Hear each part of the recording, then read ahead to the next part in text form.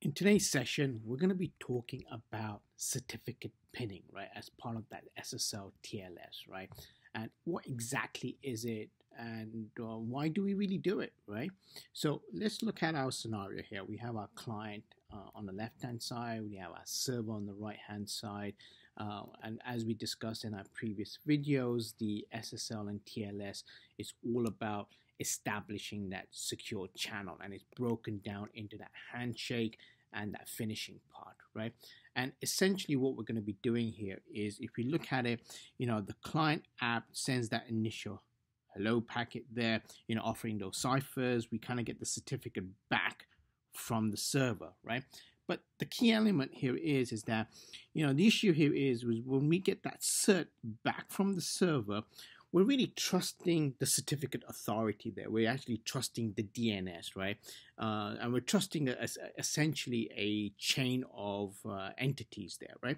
But what actually happens if that environment here, the actual server residing here, exists in some kind of hostile environment, an environment that we may not necessarily uh, trust, right?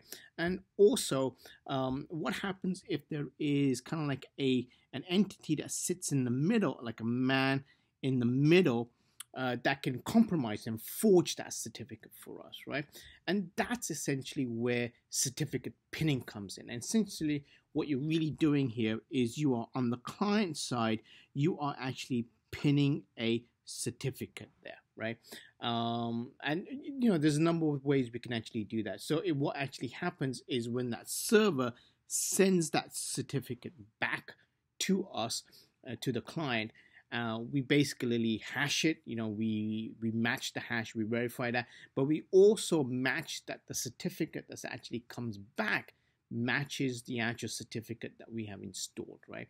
Um, and we can actually do that in two ways, right? So we I mentioned the actual certificate, but we can also, in additionally, uh, pin the public key of that cert, right? So the client app can actually use the public key or the cert that's actually pinned and kind of like match it when we get that response back from the server, right?